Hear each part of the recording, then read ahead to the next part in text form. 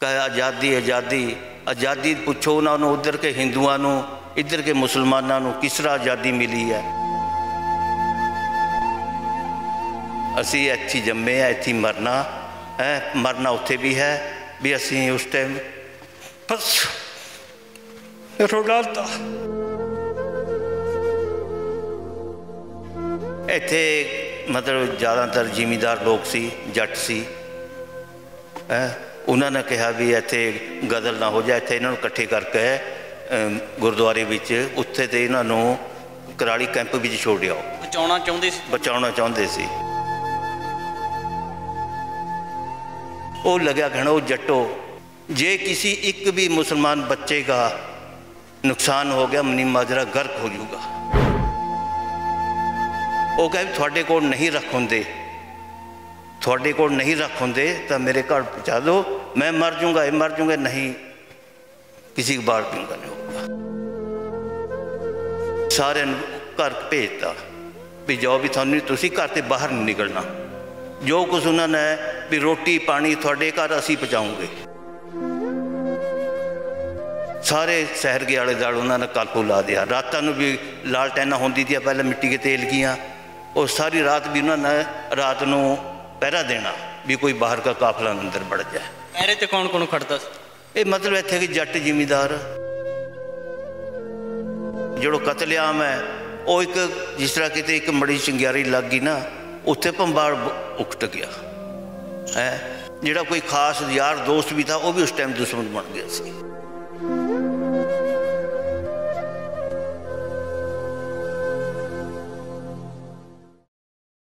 ਦੋ ਦੇਸ਼ਾਂ ਦੇ ਬਟਵਾਰੇ ਵੇਲੇ ਭਾਰਤ ਅਤੇ ਪਾਕਿਸਤਾਨ ਨੂੰ ਅਲੱਗ-ਅਲੱਗ ਕਰਨ ਸਮੇਂ ਵੱਖ-ਵੱਖ ਮੁਲਕਾਂ ਦੇ ਔਰ ਵੱਖ-ਵੱਖ ਵਰਗਾਂ ਦੇ ਲੋਕਾਂ ਦੇ ਵਿੱਚ ਆਪਸੀ ਕਤਲੋਗਾਰਦ ਹੁੰਦੀ ਹੈ।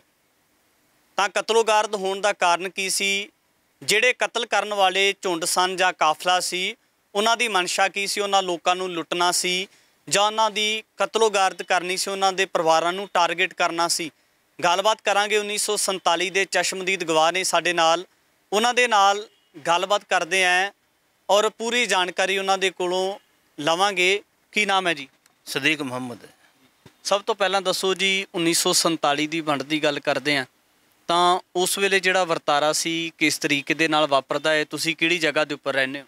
ਅਸੀਂ ਇੱਥੇ ਮਨੀ ਮਾਜਰੀ ਰਹਿੰਦੇ ਸੀ। ਇੱਥੇ ਜਦ ਉਧਰ ਅਧਰ ਦਾ ਬੰਡਵਾਰਾ ਹੋ ਰਿਹਾ ਸੀ। ਲੋਕ ਆਜ਼ਾਦ ਰਹੇ ਸੀ। ਇੱਥੋਂ ਕੁਝ ਲੋਕਾਂ ਨੇ ਮਿਲ ਕੇ ਸਾਰਿਆਂ ਨੇ ਵੀ ਚਲੋ ਇੱਥੇ ਮੁਸਲਮਾਨਾਂ ਨੂੰ ਕੈਂਪ ਵਿੱਚ ਛੋੜ ਆਈਏ ਕਰਾਲੀ। ਇਹ ਕਿੰਨੇ ਆਪਸ ਦੇ ਵਿੱਚ ਗੱਲਬਾਤ ਕੀਤੀ ਤੁਹਾਡੇ ਇੱਥੇ ਮਤਲਬ ਜ਼ਿਆਦਾਤਰ ਜ਼ਿਮੀਂਦਾਰ ਲੋਕ ਸੀ ਜੱਟ ਸੀ। ਹੈ ਉਹਨਾਂ ਨੇ ਕਿਹਾ ਵੀ ਇੱਥੇ ਗਦਲ ਨਾ ਹੋ ਜਾਏ ਇੱਥੇ ਇਹਨਾਂ ਨੂੰ ਇਕੱਠੇ ਕਰਕੇ ਗੁਰਦੁਆਰੇ ਵਿੱਚ ਉੱਥੇ ਤੇ ਇਹਨਾਂ ਨੂੰ ਕਰਾਲੀ ਕੈਂਪ ਵਿੱਚ ਛੋੜਿਓ ਬਚਾਉਣਾ ਚਾਹੁੰਦੇ ਸੀ? ਬਚਾਉਣਾ ਚਾਹੁੰਦੇ ਸੀ।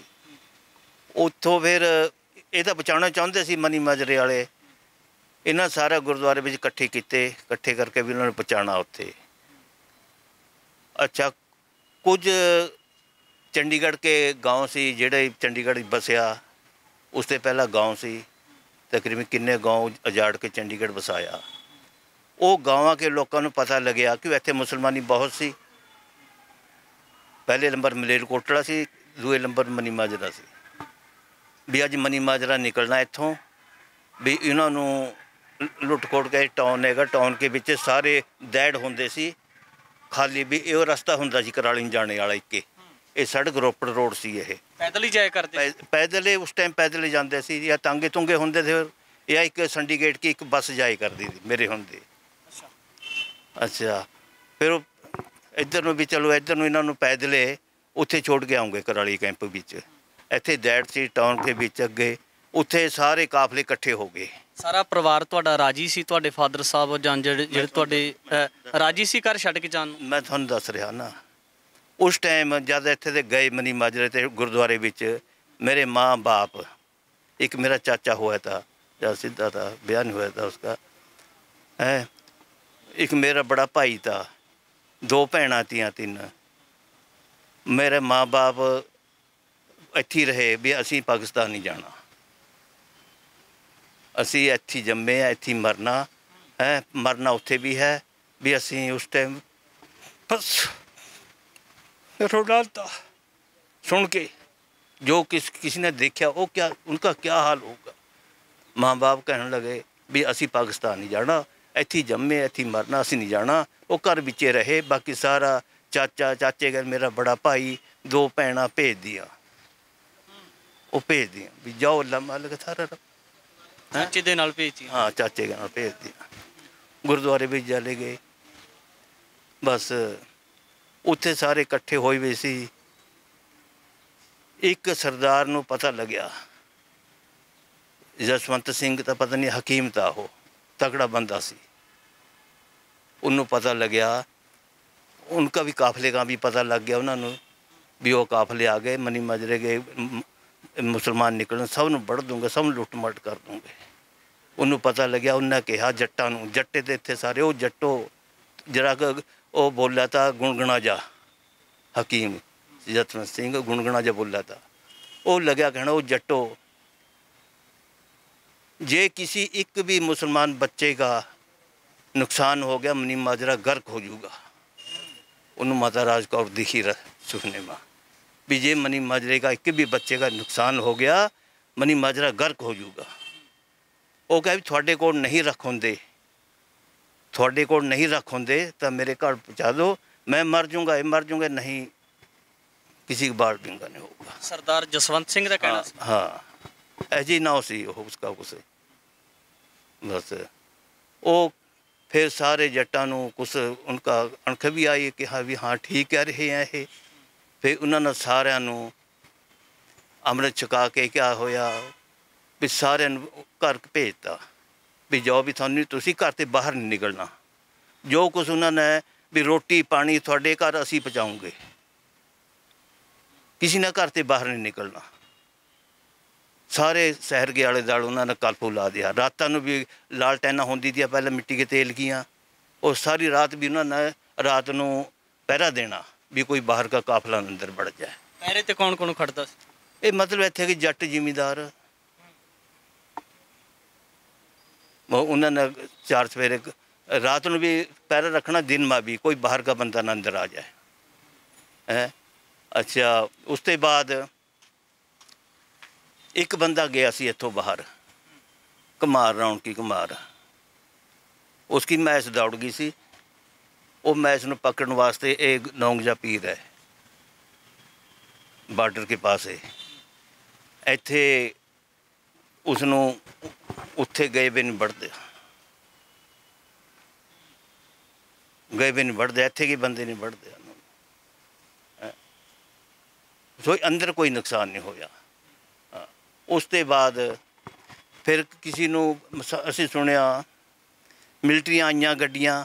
ਵੀ ਕਿਸੇ ਨੂੰ ਰਜ਼ਾ ਬੰਦੀ ਸੀ ਜਾਣਾ ਪਾਕਿਸਤਾਨ ਜ਼ਬਰਦਸਤੀ ਕੋਈ ਨਹੀਂ। ਵੀ ਕਿਸੇ ਨੂੰ ਕਿਸੇ ਦਾ ਦਿਲ ਚਾਹੇ ਪਾਕਿਸਤਾਨ ਚਲੇ ਜਾਓ। ਬਹੁਤ ਲੋਕ ਗਏ हैं ਮਰੀ ਮਾਜਰੇ ਹਾਂ। ਪਰ ਸਾਡੇ ਕੋੜਵੇਂ ਮਾਤੇ ਕੋਈ ਪਾਕਿਸਤਾਨ ਨਹੀਂ ਗਿਆ। ਮੁੜ ਕੇ ਆ ਗਏ ਫਿਰ ਉੱਥੇ ਜਦ ਭੇਜਦੇ ਉਹਨਾਂ ਨੇ ਆ ਰਹੇ।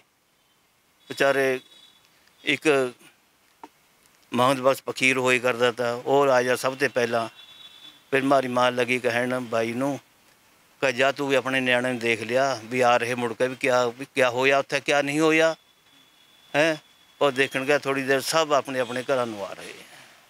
ਤੁਹਾਡੇ ਜਿਹੜੇ ਚਾਚਾ ਜੀ ਗਏ ਸੀ ਦੋ ਭੈਣਾਂ ਗਈਆਂ ਸੀ ਉਹ ਆਏ ਵਾਪਸ ਹਾਂ ਵਾਪਸ ਸਭ ਆ ਸਭ ਵਾਪਸ ਭੇਜਦੇ ਉਹਨਾਂ ਨੇ। ਕੋਈ ਨਾਂ ਬਦਲ ਦੇ ਉਨਕੇ ਹੈ ਤੇਰਾ ਨਾਂ ਕਿ ਉਸ ਟਾਈਮ ਮੇਰਾ ਜਿਸ ਟਾਈਮ ਜਨਮ ਹੋਇਆ ਨਾ ਮੇਰਾ ਨਾਂ ਜਗੀਰਾ ਰੱਖ ਕਰਕੇ ਰੱਖਿਆ। बाप का अ, मेरा बड़े भाई का नाम देव रखा हुआ था हैं उस टाइम की बात हैं फिर हमारे नाम बदले स्कूल में एक मास्टर ने हिंदू मास्टर था ਨਾਮ ਕਿਉਂ ਬਦਲੇ ਗਏ मैं ਤੁਹਾਨੂੰ ਦੱਸਾਂ ਨਾ ਹਿੰਦੂ ਮਾਸਟਰ ਸੀ ਜਦ ਹਮਾਰਾ ਬਾਪ ਦਾਖਲ ਕਰਨ ਗਿਆ ਸਕੂਲ ਮਾ ਸਕੂਲ ਮਾ ਦਾਖਲ ਕਰਨ ਗਿਆ ਉਹ ਮਾਸਟਰ ਕਪੂਰ ਤਾਂ ਪਤਾ ਨਹੀਂ ਕੌਣ ਤਾਂ ਮੇਰਾ ਕੁਛ ਇਹੋ ਜਿਹਾ ਖਿਆਲ ਨਹੀਂ था वो लग्या जब नाव लिखे बाप का अब अब्दुल घूर मरनो देव वो लगा कहन कह भी ओ तू मुसलमान है इनके नाव क्या वो कह हाँ जी का उस टाइम के संताली माँ अजी नाव ते रखे हुए वो कह फिर उसने मारे नाव रखे मेरे नाव सदीक मोहम्मद रखा बड़े भाई के नाव फजल मोहम्मद रखा उसने रखे मेरे नाव ਜਿਹੜੀਆਂ ਤੁਹਾਡੀਆਂ ਭੈਣਾਂ ਗਈਆਂ ਸੀ ਜਾਂ ਜਿਹੜੇ ਚਾਚਾ ਜੀ ਗਏ ਸੀ ਉਹ ਇੱਕ ਵਾਰ ਪਾਕਿਸਤਾਨ ਚਲੇ ਗਏ ਸੀ? ਨਹੀਂ ਨਹੀਂ ਨਹੀਂ ਅੱਛੇ ਦੇ ਮੁੜਿਆ ਏ ਗੁਰਦੁਆਰੇ ਵਿੱਚ ਮੋੜਦੇ। ਅੱਛੇ ਦੇ ਉਹਨਾਂ ਨੇ ਮੋੜਦੇ ਵੀ ਜਾਓ ਵੀ ਤੁਸੀਂ ਤੁਹਾਡੀ ਰਖਵਾਲੀ ਸਾਡੇ ਹੱਥ ਹੈ ਸਾਨੂੰ ਕੋਈ ਕੁਛ ਨਹੀਂ ਜਿਹੜਾ ਇਲਾਕੇ ਦਾ ਸੀ ਉਹ ਮਾਹੌਲ ਫਿਰ ਕਿਸ ਤਰੀਕੇ ਦਾ ਸੀ? ਕੋਈ ਸਹਿਮ ਦਾ ਮਾਹੌਲ ਵੀ ਵੱਖ-ਵੱਖ ਇਲਾਕਿਆਂ 'ਚ ਬਣਿਆ ਸੀ? ਇੱਥੇ ਦਾ ਲਾਗੇ ਲੱਗਦਾ ਬਹੁਤ ਹਾਲ ਬੁਰਾ ਹੋਇਆ। ਇੱਥੇ ਸਿਸਮਾ ਸੀ گاؤں ਇੰਨਾ ਨੁਕਸਾਨ ਹੋਇਆ ਤਾਂ ਉੱਥੇ ਤੀਮੀਆਂ ਨਾਲ ਖੂਹ ਭਰ ਗਏ ਆਤਮ ਹੱਤਿਆ ਕਰ ਲਈ ਹੈ ਇੱਥੇ ਕਾਲੇ ਅੰਬ ਹੈ ਕਾਲੇ ਅੰਬ ਵੀ ਉਹੀ ਹਾਲ ਹੋਇਆ ਹੈ ਬਾਕੀ ਕਈ ਗਾਵਾਂ ਮੈਂ ਇਸ ਤਰ੍ਹਾਂ ਕੇ ਖੂਨ ਕੀ ਨਦੀਆਂ ਬਹੀਆਂ ਇੱਕ ਹੋਰ ਗੱਲ ਕਰੀਏ ਤਾਂ ਜਿਹੜੇ ਲੁੱਟਣ ਵਾਲੇ ਜਾਂ ਕਤਲੋਗਾਰਦ ਕਰਨ ਵਾਲੇ ਲੋਕ ਸੀ ਉਹਨਾਂ ਦੀ ਮਨਸ਼ਾ ਕੀ ਸੀ ਉਹਨਾਂ ਦਾ ਟਾਰਗੇਟ ਕਿਉਂ ਕਰਦੇ ਸੀ ਉਹ ਕਤਲ ਅ, ਉਹਨਾਂ ਦੀ ਮਨਸ਼ਾ ਖਤਮ ਕਰਨਾ ਸੀ ਜਾਂ ਫਿਰ ਉਹਨਾਂ ਦੀ ਲੁੱਟ ਖੋਹ ਕਰਨਾ ਸੀ ਕਈ ਤਰ੍ਹਾਂ ਕੇ ਲੋਕ ਸੁਣਦੇ ਸੀ। ਕੋਈ ਤਾਂ ਲੁੱਟ ਖੋਹ ਵਿੱਚ ਲਗੇ ਲਗੇ ਵੇ ਤੇ, ਹੈ? ਅੱਛਾ, ਕੋਈ ਕਤਲੋਗਰਦ ਵਿੱਚ ਲਗੇ ਵੇ ਤੇ, ਆਪਸ ਮਾ, ਬ ਕੋਈ ਪੁਰਾਣੀ ਖੁੰਦਕਾਂ ਨਿਕ- ਕੱਢਦੇ ਸੀ। ਪੁਰਾਣੀ ਖੁੰਦਕਾਂ ਵੀ ਕੱਢੀਆਂ। ਉਸ ਟਾਈਮ ਪੁਰਾਣੀ ਖੁੰਦਕਾਂ ਬਹੁਤ ਕੱਢੀਆਂ। ਕਿਸੇ ਗੱਲ ਪੁਰਾਣੀ ਖੁੰਦਕ ਉਸ ਤਰ੍ਹਾਂ ਉਹ ਕੱਢੀਆਂ ਜ਼ਿਆਦਾ। ਤੁਹਾਡਾ ਕੋਈ ਸਾਖ ਸੰਬੰਧੀ ਜਾਂ ਪਰਿਵਾਰ ਦੇ ਵਿੱਚੋਂ ਵਿਚਾਰਿਆ ਕਿਸੇ ਦੀ ਕਤਲੋਗਰਦ ਨਹੀਂ ਹੋਈ? ਨਾ ਸਾਡੇ ਪਰਿਵਾਰ ਕੀ ਕੋਈ ਕਤਲ ਉਗਾਰਦ ਨਹੀਂ ਇੱਥੇ ਹੋਈ ਹੈ। ਜਿਹੜੇ ਹਾਲਾਤ 1947 ਵੇਲੇ ਲੋਕਾਂ ਦੇ ਬਣੇ ਜਿਸ ਤਰੀਕੇ ਦੇ ਨਾਲ ਉਹਨਾਂ ਨੂੰ ਟਾਰਗੇਟ ਕੀਤਾ ਗਿਆ ਕੀ ਲੱਗਦਾ ਕਿ ਇਹਦੇ ਵਿੱਚ ਕਿਤੇ ਨਾ ਕਿਤੇ ਜਿਹੜੀ ਉਸ ਵੇਲੇ ਦੀ ਸਰਕਾਰ ਜ਼ਿੰਮੇਦਾਰ ਨਜ਼ਰ ਆਉਂਦੀ ਹੈ ਜਾਂ ਕਿਹਨੂੰ ਜ਼ਿੰਮੇਦਾਰ ਕਿਹਨੂੰ ਮੰਨਦੇ ਹੋ? ਕਿਉਂਕਿ ਜਿਹੜਾ ਇਹ ਬੰਡਵਾਰਾ ਹੋਇਆ ਇਹ ਹੋਇਆ ਤਾਂ ਸਰਕਾਰਾਂ ਕੇ ਸਿਆਸੀ ਪਾਰਟੀਆਂ ਕੇ ਉੱਪਰ ਕਰਿਆ ਇਹਨਾਂ ਨੇ। ਹੈ? ਸਿਆਸੀ ਪਾਰਟੀਆਂ ਇਹਨਾਂ ਦਾ ਦੋਸ਼ੀ ਹੈ ਵੀ ਬੰਡਵਾਰਾ ਕਿਉਂ ਹੋਇਆ? ਬਾਕੀ ਜਿਹੜਾ ਕਤਲੇਆਮ ਹੈ, ਉਹ ਇੱਕ ਜਿਸ ਤਰ੍ਹਾਂ ਕਿਤੇ ਇੱਕ ਮੜੀ ਚੰਗਿਆਰੀ ਲੱਗ ਗਈ ਨਾ, ਉੱਥੇ ਭੰਬਾੜ ਬ- ਉੱਠ ਗਿਆ। ਹੈ? ਭੰਬਾੜ ਉੱਠ ਗਿਆ। ਹੈ? ਬਹੁਤੇ ਦੇ ਵਿਰੇਹ ਹੋ ਗਿਆ। ਇੱਕ ਦੂਏ ਦਾ ਜਿਹੜਾ ਇਸ ਤਰ੍ਹਾਂ ਜਿਹੜਾ ਕੋਈ ਖਾਸ ਯਾਰ ਦੋਸਤ ਵੀ ਥਾ ਉਹ ਵੀ ਉਸ ਟਾਈਮ ਦੁਸ਼ਮਣ ਬਣ ਗਿਆ ਸੀ। ਜਿਵੇਂ ਤੁਸੀਂ ਦੱਸਿਆ ਕਿ ਉਸ ਵੇਲੇ ਸਭ ਤੋਂ ਵਧੇਰੇ ਗਿਣਤੀ ਜਿਹੜੀ ਮੁਸਲਮਾਨ ਭਾਈਚਾਰੇ ਦੀ ਸੀ, ਉਹ ਮਲੇਰਕੋਟਲੇ ਦੇ ਵਿੱਚ ਸੀ ਔਰ ਦੂਜੇ ਨੰਬਰ ਦੇ ਉੱਪਰ ਮਣੀ ਮਾਜਰੇ ਦੇ ਵਿੱਚ ਸੀ ਕਿ ਅੱਜ ਵੀ ਜਿਸ ਤਰੀਕੇ ਦੇ ਨਾਲ ਉਸ ਵੇਲੇ ਮੁਸਲਮਾਨ ਭਾਈਚਾਰਾ ਵੱਡੀ ਤਾਦਾਦ ਦੇ ਵਿੱਚ ਮਨੀ ਮਾਜਰੇ ਰਹਿੰਦਾ ਸੀ, ਅੱਜ ਵੀ ਉਨੀ ਗਿਣਤੀ ਹੈ? ਅੱਜ ਸਮਾਂ ਉਸ ਤੇ ਵੀ ਜ਼ਿਆਦਾ ਗਿਣਤੀ ਹੋਈ ਵੀ ਹੈ ਜਦ ਤੇ ਬਹੁਤ ਜ਼ਿਆਦਾ ਗਿਣਤੀ ਹੈ ਇੱਥੇ। ਇਹ ਤਾਂ ਹੋਰ ਪਾਸੇ ਵੀ ਮੁਸਲਮਾਨਾਂ ਦੀ ਲੁਧਿਆਣੇ ਵਿੱਚ ਬਹੁਤ ਗਿਣਤੀ ਹੋਈ ਵੀ ਮੁਸਲਮਾਨਾਂ ਦੀ ਹੈ, ਇਸ ਤਰ੍ਹਾਂ ਇਹ ਮਲੇਰਕੋਟਲੀ ਵਿੱਚ ਵੀ ਦੇਖੋ ਮਲੇਰਕੋਟਲੀ ਵਿੱਚ ਵੀ ਕੋਈ ਨੁਕਸਾਨ ਨਹੀਂ ਹੋਇਆ। ਉੱਥੇ ਦਾ ਕੁਦਰਤੀ ਉਨਕਾ ਉਪਦੇਸ਼ ਹੈ ਗੁਰੂ ਗੋਬਿੰਦ ਸਿੰਘ ਕਾ ਉਹ ਤਾਂ ਪਹਿਲੀ ਗੱਦੀ ਉੱਥੇ ਅਮਰ ਹੈ ਮੁਸਲਮਾਨਾਂ ਕੀ ਹੈ। ਉੱਥੇ ਤਾਂ ਕੋਈ ਐਸੀ ਬਾਤ ਨਹੀਂ, ਬਾਕੀ ਹੋਰ ਪਾਸੇ ਨੁਕਸਾਨ ਬਹੁਤ ਹੋਇਆ। ਇਸੇ ਤਰ੍ਹਾਂ ਉਧਰ ਵੀ ਨੁਕਸਾਨ ਹੋਇਆ, ਇੱਧਰ ਵੀ ਨੁਕਸਾਨ ਹੋਇਆ, ਹੈ। ਸਾਡਾ ਬਾਈ ਕਹੇ ਕਰਦਾ ਤਾ, ਕਹੇ ਆਜ਼ਾਦੀ ਆਜ਼ਾਦੀ। ਆਜ਼ਾਦੀ ਪੁੱਛੋ ਉਹਨਾਂ ਨੂੰ ਉਧਰ ਕੇ ਹਿੰਦੂਆਂ ਨੂੰ, ਇੱਧਰ ਕੇ ਮੁਸਲਮਾਨਾਂ ਨੂੰ ਕਿਸ ਤਰ੍ਹਾਂ ਆਜ਼ਾਦੀ ਮਿਲੀ ਹੈ, ਕਿਸ ਤਰ੍ਹਾਂ ਬੀਤੀ ਇੱਧਰ ਕੇ ਮੁਸਲਮਾਨਾਂ ਗੱਲ, ਕਿਸ ਤਰ੍ਹਾਂ ਬੀਤੀ ਉਧਰ ਕੇ ਹਿੰਦੂਆਂ ਨਾਲ, ਹਾਂ। ਕਿ ਕਿਆ ਕਿਆ ਹਾਲ ਹੋਇਆ, ਘਰ ਤੇ ਬੇਘਰ ਹੋਏ, ਕਿਸ ਤਰ੍ਹਾਂ ਹੋਇਆ, ਹਾਂ। ਜੇ, ਆਪਾਂ ਇੱਕ ਗੱਲ ਕਰ ਲਈਏ ਕਿ ਜਿਵੇਂ ਉਸ ਵੇਲੇ ਸਰਕਾਰ ਦੇ ਵੱਲੋਂ ਜਾਂ ਜਿਹੜੀ ਕਹਿ ਸਕਦੇ ਕਿ ਮਿਲਟਰੀ ਸੀ ਆਫਰ ਕੀਤਾ ਗਿਆ ਕਿ ਤੁਸੀਂ ਪਾਕਿਸਤਾਨ ਜਾਣਾ ਚਾਹੁੰਦੇ ਹੋ ਤਾਂ ਆਪਣੀ ਮਨਮਰਜ਼ੀ ਦੇ ਨਾਲ ਜਾ ਸਕਦੇ ਹੋ। ਤੇ ਤੁਹਾਡੇ ਮਨ ਦੇ ਵਿੱਚ ਕਿਤੇ ਦੁੱਖ ਅਫਸੋਸ ਨਹੀਂ ਕਿ ਅਸੀਂ ਉਸ ਵੇਲੇ ਜੇ ਪਾਕਿਸਤਾਨ ਚਲੇ ਜਾਂਦੇ ਜਾਂ ਜਿੱਥੇ ਰਹਿ ਕੇ ਮਹਿਫੂਜ਼ ਹੋ? ਪਹਿਲਾਂ ਤੇ ਹੀ ਅਸੀਂ ਤਾਂ ਬਜ਼ੁਰਗਾਂ ਤੇ ਹੀ ਗਏ ਨਹੀਂ ਹੈ ਇੱਥੋਂ। ਹੈ ਇੱਥੇ ਅਮਨ ਚੈਨ ਤੇ ਰਹਿ ਰਹੇ ਹੈ। ਕੋਈ ਇਸ ਤੱਕ ਵੀ ਸਾਡੇ ਜਿਹੜੇ ਪੜ੍ਹਾਈ ਵਿੱਚ ਵੀ ਯਾਰ ਦੋਸਤ ਹੈ ਇਹ ਵੀ ਇਸ ਤਰ੍ਹਾਂ ਮਿਲਦੇ ਹੈ ਗਲੇ ਮਿਲਦੇ ਹੈ ਵਿਚਾਰੇ ਬਹੁਤ ਮੁਹੱਬਤ ਕਰਦੇ ਹੈ। ਹੈ? ਜਿਹੜੇ ਉਸ ਟਾਈਮ ਮੇਰੇ ਕਲਾਸ ਫੈਲੋ ਦੇ ਹਿੰਦੂ ਦੇ ਸਿੱਖ ਤੇ ਹੈ ਕਈ ਬੰਦੇ ਇਹੋ ਜਿਹੇ ਵਿਚਾਰੇ ਬੜੀ ਮੁਹੱਬਤ ਕਰਦੇ ਹੈ ਵੀ। ਜਿਵੇਂ ਸਿੱਖ ਜਾਂਦੇ ਨੇ ਆਪਣੇ ਗੁਰਧਾਮਾਂ ਦੇ ਦਰਸ਼ਨ ਕਰਨ ਵਾਸਤੇ ਪਾਕਿਸਤਾਨ ਨੂੰ ਤੁਸੀਂ ਵੀ ਕਦੇ ਕਦੇ ਗਏ ਹੋ ਪਾਕਿਸਤਾਨ? ਨਹੀਂ ਪਾਕਿਸਤਾਨ ਮੈਂ ਗਿਆ ਦੋ ਵਾਰੀ ਗਿਆ। ਵੈਸੇ ਹੀ ਰਿਸ਼ਤੇਦਾਰ ਸੀ ਸਾਡੇ ਇੱਕ ਬੂਆ ਦੀ ਸੂਰਜ ਵਰਗੀ ਉਹਦੀ ਉਹ।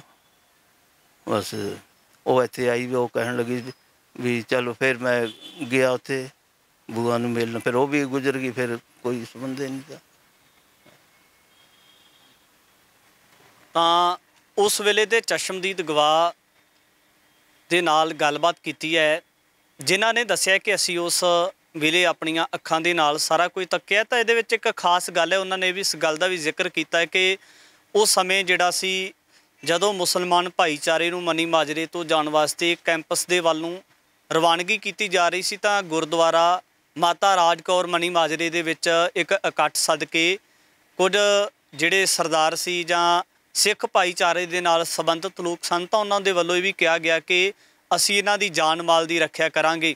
ਔਰ ਜੇ ਇਹਨਾਂ ਦਾ ਇੱਕ ਪਰਿਵਾਰ ਦਾ ਇੱਕ ਬੱਚਾ ਵੀ ਚਲਾ ਜਾਂਦਾ ਹੈ, ਤਾਂ ਸਾਡੇ ਵਾਸਤੇ ਇੱਕ ਬਹੁਤ ਸ਼ਰਮਨਾਕ ਗੱਲ ਹੋਵੇਗੀ ਜੇ ਕੁਝ ਸ਼ਰਾਰਤੀ ਲੋਕਾਂ ਦੇ ਵੱਲੋਂ ਇਹਨਾਂ ਦੇ ਪਰਿਵਾਰ ਦੀ ਕਤਲੋਗਰਦ ਕੀਤੀ ਜਾਂਦੀ ਹੈ। ਤਾਂ 1947 ਦੇ ਚਸ਼ਮਦੀਦ ਗਵਾਹਾਂ ਦੇ ਨਾਲ ਗੱਲਬਾਤ ਕੀਤੀ ਆਉਣ ਵਾਲੇ ਸਮੇਂ ਦੇ ਵਿੱਚ ਵੀ ਇਸ ਤਰ੍ਹਾਂ ਦੇ तमाम ਸ਼ਖਸ ਤੁਹਾਡੇ ਦਰਮਿਆਨ ਹਾਜ਼ਰ ਕਰਾਂਗਾ ਧੰਨਵਾਦ